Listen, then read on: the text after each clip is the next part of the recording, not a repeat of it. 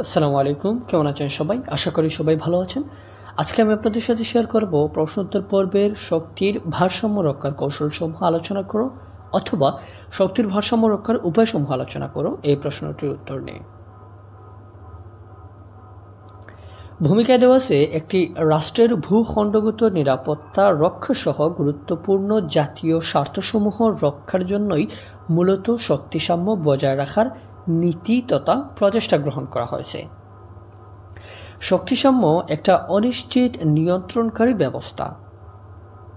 কেননা, এটা যে সাম্য আনয়ন করে তা ক্ষণস্থায়ী এমনকি অত্যন্ত আদর্শ অবস্থায় এর প্রয়োগের জন্য যথেষ্ট দক্ষতার প্রয়োজন হয়। তাছাড়া, ভারসাম্য একটা গতিময় ব্যাপার, কারণ শক্তি সর্বদাই পরিবর্তনশীল। ভারসাম্য রক্ষার রাখার জন্য ক্রমাগত প্রচেষ্টার প্রয়োজন হয়। বিশ্বে বৃহৎ শক্তিগুলো বিভিন্ন কৌশলে ও ফিকিরের মাধ্যমে শক্তিসাম্য বজায় রাখার চেষ্টা করে। শক্তিসাম্যের ধারণা অনুযায়ী কোনো রাষ্ট্রের ক্ষমতা যদি হঠাৎ করে এমনভাবে বেড়ে যায় যে সে অপর রাষ্ট্রসমূহের নিরাপত্তার প্রতি হুমকি দেখা দেয় তবে সাম্য ব্যবস্থা বজায় রাখার জন্য তাদের দরকার হয় নিজেদের শক্তি বৃদ্ধি করা অথবা ওই রাষ্ট্রের ক্ষমতা হ্রাস করার প্রচেষ্টা চালানো। এটাই শক্তিসাম্য বজায় রাখার উপযোগী বিভিন্ন কৌশলের জন্ম দেয়। মর্গেনথাউ শক্তিসাম্য রক্ষার ছয়টি পদ্ধতির কথা উল্লেখ করেছেন। সেগুলো হচ্ছে, এক নম্বর হচ্ছে বিভাজন ও শাসন, দুই নম্বর হচ্ছে ক্ষতিপূরণ, তিন নম্বর হচ্ছে সশস্ত্রীকরণ, চার নম্বর জোট গঠন, পাঁচ নম্বর জোট ও প্রতিদ্বন্দ্বী জোট এবং সর্বশেষে হচ্ছে ভারসাম্য রক্ষাকারী।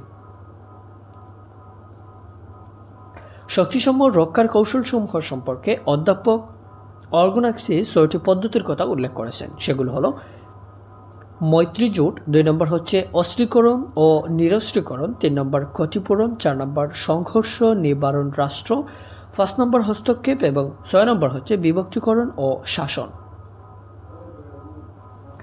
অধ্যাপক পামার ও পার্কিল শক্তিসাম্য বজায় রাখার ছয়টি পদ্ধতির কথা উল্লেখ করেছেন। সেগুলো হলো জুট, প্রতিদ্বন্দ্বী জুট, দুই নম্বর হচ্ছে ক্ষতিপূরণ, তিন নম্বর সশস্ত্রীকরণ ও নিরস্ত্রীকরণ, চার নম্বর হস্তক্ষেপ ও হস্তক্ষেপ থেকে বিরতি, পাঁচ নম্বর সংঘর্ষ নিবারক রাষ্ট্র এবং ছয় নম্বর হচ্ছে বিভক্তিকরণ ও শাসন।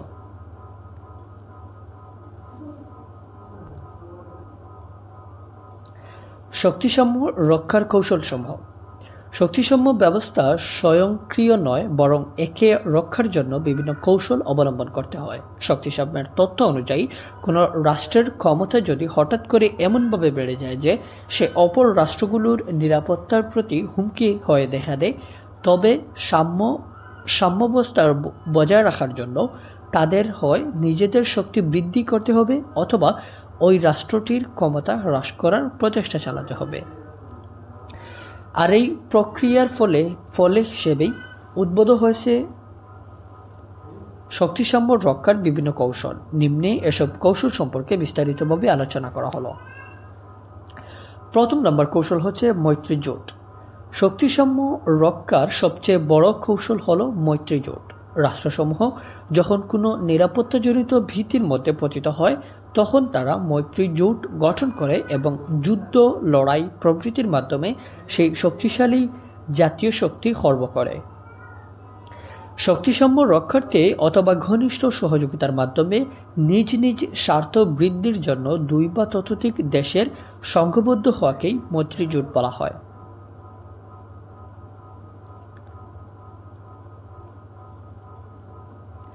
অধ্যাপক মর্গেনথাওয়ের মতে, মৈত্রী জোট হচ্ছে আন্তর্জাতিক ক্ষেত্রে পরিচালিত শক্তিসাম্যের একটি প্রয়োজনীয় ক্রিয়া।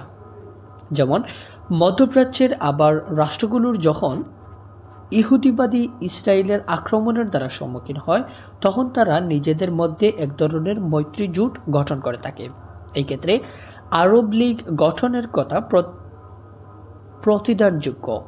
দ্বিতীয় বিশ্বযুদ্ধকালীন চলাকালীন মার্কিন যুক্তরাষ্ট্র, ব্রিটেন, ফ্রান্স ও সোভিয়েত ইউনিয়নের মধ্যকার মহামৈত্রী জোট এর কথা উল্লেখ করা যায়, যা তাদের সাধারণ শত্রু, শত্রুর পর তাদের মধ্যে বিশেষত সোভিয়েত ইউনিয়নের সাথে পশ্চিমা শক্তিগুলোর সাথে মতের মিল না থাকায় যুদ্ধোত্তর পৃথিবীতে এই মহামৈত্রী জোট ভেঙে যায়। আবার স্নায়ুযুদ্ধের প্রেক্ষিতে মার্কিন যুক্তরাষ্ট্র ও সাবেক সোভিয়েত ইউনিয়ন যথাক্রমে পুঁজিবাদী ও সমাজতান্ত্রিক আদর্শগত আগ্রাসনের জন্য নেটো এবং ওয়ারস নামে দুটি মহাজোট গঠন করেন, যার ফলে দ্বীপ মেরুকেন্দ্রিক বিশ্বের সৃষ্টি হলেও এভাবে রাষ্ট্রগুলোর জোট গঠনের মাধ্যমে নিজেদের মধ্যে শক্তিসাম্য গড়ে তোলে। দুই নম্বর হচ্ছে নিরস্ত্রীকরণ। শক্তিসাম্য বজায় রাখার অন্যতম উপায় হচ্ছে অস্ত্রীকরণ ও নিরস্ত্রীকরণ। বর্তমান যুগে দেখা যায় যে প্রত্যেক বৃহৎ শক্তি সামরিক প্রস্তুতি ও অন্যান্য প্রতিরক্ষা ব্যবস্থার উপর গুরুত্ব আরোপ করা হয়। শক্তিসাম্য বজায় রাখার অন্যতম পন্থা হচ্ছে যখনই কোনো একটি বিশেষ রাষ্ট্র তার শক্তি বৃদ্ধি করতে থাকে, তখনই তার বিরুদ্ধে শক্তিগুলো সজ্জিত হতে থাকে বা যুদ্ধাস্ত্রে প্রস্তুত হয়। তিন নম্বর হচ্ছে ক্ষতিপূরণ। শক্তিসাম্য বজায় রাখার আরও একটি গুরুত্বপূর্ণ কৌশল হলো ক্ষতিপূরণ।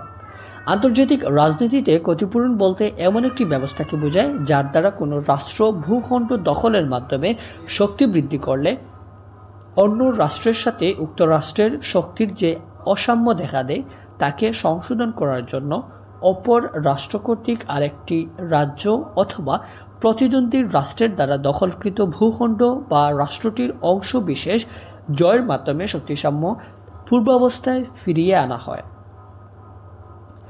যদি কোনো কারণে একটি রাষ্ট্রের শক্তি বৃদ্ধি পায়, তবে অপর রাষ্ট্রেরও সমপরিমাণ শক্তি বৃদ্ধির অধিকার রয়েছে, কারণ অন্যতায় শক্তিসাম্য ব্যাহত হবে এবং এই এই হলো ক্ষতিপূরণ নীতির মূল কথা। ক্ষতিপূরণের নীতি দ্বারা শক্তিসাম্য বজায় রাখার অনেক দৃষ্টান্ত ইতিহাসে পাওয়া যায়। অষ্টাদশ ও ঊনবিংশ শতাব্দীতে শক্তিসাম্য বজায় রাখার ব্যাপারে এই নীতিটি বহুল প্রচলিত ছিল।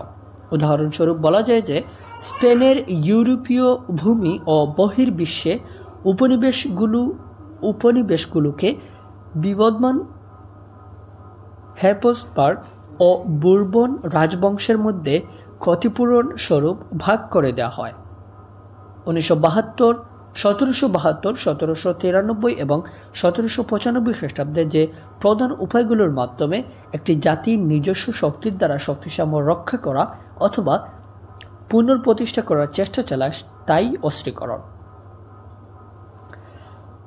চার নম্বর হচ্ছে অস্ত্রীকরণ। অস্ত্রীকরণের সংজ্ঞা দিতে গিয়ে অধ্যাপক মর্গান্ত বলেন যে প্রধান উপায়গুলোর মাধ্যমে একটি জাতি তার নিজস্ব শক্তির দ্বারা শক্তিসাম্য রক্ষা অথবা পুনঃপ্রতিষ্ঠা চালায়, সেটাই হচ্ছে অস্ত্রীকরণ অস্ত্রীকরণ প্রতি শক্তিসাম্য বজায় রাখার একটি গুরুত্বপূর্ণ কৌশল হলেও এটি অনেক সময় মারাত্মক আকার ধারণ করতে পারে। তার কারণে কৌশল, এই কৌশল অনুযায়ী শক্তির দিক দিয়ে কোনো রাষ্ট্রের সমকক্ষ হওয়ার জন্য অন্যান্য রাষ্ট্র যখন অস্ত্রশস্ত্রে সজ্জিত হতে থাকে, তখন তাদের মধ্যে শক্তিসাম্য বজায় থাকলেও এর ফলে যে অস্ত্রের প্রতিযোগিতা শুরু হয়, তার পরিণামে তাদেরকে যুদ্ধের দিকে ঠেলে দেয়। প্রথম বিশ্বযুদ্ধের আরম্ভই এর প্রকৃষ্ট উদাহরণ। তাই বিশ্বের শান্তিকামী জনগণ দাবি তুলেছিল যে অস্ত্রীকরণ নয়, বরং নিরস্ত্রীকরণের মাধ্যমে শক্তিসাম্য বজায় রাখতে হবে। কোনো জাতি যদি অস্ত্র বৃদ্ধির মাধ্যমে শক্তি বৃদ্ধি করতে থাকে, তখন তাকে, সবাই তাকে চাপ প্রয়োগ করে নিরস্ত্রীকরণের কথা বলে। বাস্তবে, এর মাধ্যমে শক্তিসাম্য বজায় রাখার দৃষ্টান্ত বিরল। তিনবার পোল্যান্ডকে অস্ট্রিয়া রাশিয়া ও প্রশিয়া নিজেদের মধ্যে বাক করে নেয়, যার ফলে পোল্যান্ডের অস্তিত্ব শেষ পর্যন্ত বিপন্ন হয়ে যায়। তাই শক্তিসাম্যের এই নীতিকে সমর্থন করা যায় না, কারণ এর ফলে বৃহৎ শক্তিগুলো মধ্যে সাম্য বজায় থাকলেও ক্ষুদ্র শক্তিগুলো নিঃশেষ হয়ে যাওয়ার সম্ভাবনা থাকে। ঊনবিংশ শতাব্দীর শেষ ভাগে ইউরোপীয় বৃহৎ শক্তিগুলো তাদের শক্তিসাম্য বজায় রাখার জন্য প্রায় সমগ্র আফ্রিকা মহাদেশ ও চীনকে নিজেদের মধ্যে ভাগ করে নেয়, যা ক্ষতিপূরণ নীতির সবচেয়ে কুখ্যাত উদাহরণ। ক্ষতিপূরণ নীতিকে বাস্তবিক কার্যে পরিণত করতে হলে উভয় পক্ষকেই কিছুটা সার দিতে হবে। ফার্স্ট নম্বর হচ্ছে হস্তক্ষেপ। শক্তিসাম্য বজায় রাখার অন্যতম আরেকটি পদ্ধতি হচ্ছে হস্তক্ষেপ। যখন কোনো একটি বিরোধী শক্তির ক্ষমতা বৃদ্ধিতে অন্য এক শক্তি শঙ্কিত হয়ে ওঠে, তখন সে মিত্রতা স্থাপনের জন্য বন্ধুরাষ্ট্র খুঁজে খুঁজে বেড়ায় অথবা কোনো রাষ্ট্র, ক্ষুদ্র রাষ্ট্রের অভ্যন্তরীণ ব্যাপারে বন্ধুত্বপূর্ণভাবে হস্তক্ষেপ করে এবং তাকে নিজের ব্লকে আনার চেষ্টা করে। পৃথিবীর ইতিহাসে পর্যালোচনা করলে দেখা যায় যে এই কৌশল বহু রাষ্ট্র কর্তৃক ব্যবহৃত হয়েছে দ্বিতীয় বিশ্বযুদ্ধের পর ব্রিটেন গ্রিস সমাজতান্ত্রিক ব্লকে চলে যেতে পারে। হস্তক্ষেপের আরও একটি উল্লেখযোগ্য ঘটনা হল স্পেনের গৃহযুদ্ধের সময় যখন সোভিয়েত ইউনিয়ন প্রজাতন্ত্রকে সমর্থন করে, তখন সেখানে কমিউনিস্টদের প্রাধান্য বিস্তারকে রোধ করার উদ্দেশ্যে নাচি জার্মানি ও ফেস্টিস্ট ইতালি জেনারেল ফ্রাস্কোকে সমর্থন করে। অন্যদিকে মার্কিন যুক্তরাষ্ট্র, ল্যাটিন আমেরিকার গুয়েতামালা, ডোমিনিকান রিপাবলিকে হস্তক্ষেপ করে। বর্তমানে বিভিন্ন দেশে মার্কিন যুক্তরাষ্ট্র ও নেটোভুক্ত দেশগুলোর হস্তক্ষেপ অনেক অনেক সময় পরিলক্ষিত হচ্ছে। আদি এইচ ডক্টরের মতে, হস্তক্ষেপের উদ্দেশ্য হচ্ছে একটি বন্ধুভাবান্য সরকারের ক্ষমতা অধিষ্ঠিত করা। শক্তিসাম্য বজায় রাখার ব্যাপারে হস্তক্ষেপ একটি কার্যকর কৌশল হওয়া সত্ত্বেও নৈতিক দিক থেকে একে সমর্থন করা যায় না। কারণ, এটি রাষ্ট্রসমূহের আচরণ নিয়ন্ত্রণকারী আন্তর্জাতিক ব্যবহার বিধির পরিপন্থী। ছয় নম্বর হচ্ছে সংঘর্ষ নিবারক রাষ্ট্র।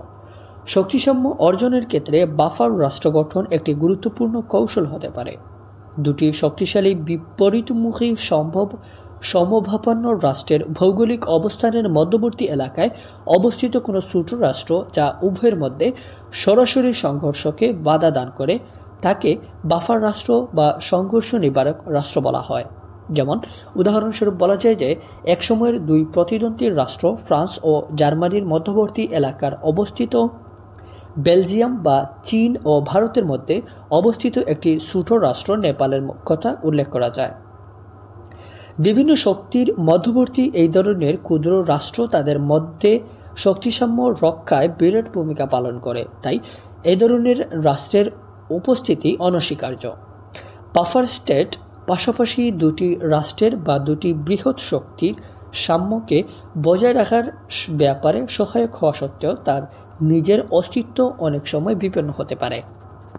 ইতিহাস থেকে জানা যায় যে ফ্রান্স ও জার্মানি পরস্পরকে আক্রমণ করতে গিয়ে অনেক সময় নিরপেক্ষ বেলজিয়ামের উপর উপর দিয়ে সৈন্য চালন, চালনা করার ফলে বেলজিয়াম মারাত্মক ক্ষয়ক্ষতির সম্মুখীন হয়েছে। সাত নম্বর হচ্ছে বিভক্তিকরণ ও শাসন। শক্তিসাম্য বজায় রাখার সর্বশেষ কৌশল হল বিভক্তিকরণ ও শাসন। পৃথিবীর বৃহৎ রাষ্ট্রগুলো দীর্ঘকাল ধরে বিভাজন ও শাসন নীতিকে শক্তিসাম্য অর্জনের একটি কৌশল হিসেবে ব্যবহার করে আসছে। এই নীতির মাধ্যমে কোনো রাষ্ট্র বা রাষ্ট্রজোট অধিক শক্তিশালী হলে তার প্রতিপক্ষ বন্ধু রাষ্ট্র বা জোটভুক্ত রাষ্ট্রগুলোকে অধিক শক্তিশালী রাষ্ট্রটি থেকে বিচ্ছিন্ন করে সাম্যবস্থা বজায় রাখার প্রচেষ্টা গ্রহণ করে থাকে। উদাহরণস্বরূপ বলা যায় ফ্রান্সের বৈদেশিক নীতির অন্যতম লক্ষ্য হল হিল, জার্মানি, যাতে ঐক্যবদ্ধ থাকতে না পারে, তাদের নীতি সর্বদা ছিল খণ্ডিত জার্মানির পক্ষে। অনুরূপভাবে, সোভিয়েত ইউনিয়ন সবসময় ঐক্যবদ্ধ ইউরোপের বিপক্ষে ছিল। ইউরোপে শক্তিসাম্য বজায় রাখার জন্য মার্কিন যুক্তরাষ্ট্রের সার্বক্ষণিক তৎপরতা ছিল পূর্ব ইউরোপীয় দেশগুলোকে সোভিয়েত প্রভাব বলয় থেকে মুক্ত করা। অপরদিকে, সোভিয়েত ইউনিয়ন চাইত যাতে পশ্চিম ইউরোপীয় দেশগুলোর মধ্যে কোনো ধরনের অর্থনৈতিক বা রাজনৈতিক ঐক্য স্থাপিত হতে না পারে। উপসংহার, পরিশেষে বলা যায় যে শক্তির ভারসাম্য সৃষ্টি ও বজায় রাখার জন্য বিভিন্ন নিয়ম, পদ্ধতি ও কৌশল উদ্ভাবন করা হয়েছে। শক্তিগত ভারসাম্য বজায় রাখার জন্য প্রধান কৌশল হল সকল পক্ষের শক্তি হ্রাস বা দুর্বল পক্ষের শক্তি বৃদ্ধি করে ভারসাম্য রক্ষা করা। অনেক ক্ষেত্রে জুটের বিপক্ষে জুট গঠন করেও শক্তিসাম্য বজায় রাখা হয়। কোনো জোট প্রবল হয়ে উঠলে তাকে প্রতিহত করার জন্য প্রতিদ্বন্দ্বী জোট গড়ে ওঠে। এটাই ছিল আজকের ভিডিও। ভালো লাগলে অবশ্যই চ্যানেলটি সাবস্ক্রাইব করবেন। ধন্যবাদ